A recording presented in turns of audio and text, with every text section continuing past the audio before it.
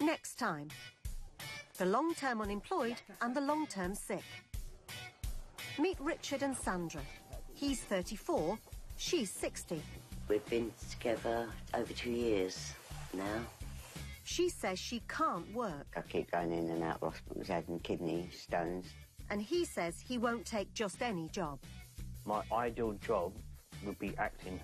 Always wanted to do it since I was five years old.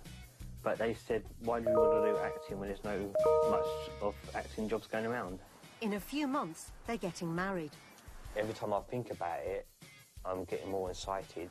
But their life on benefits might not survive much longer.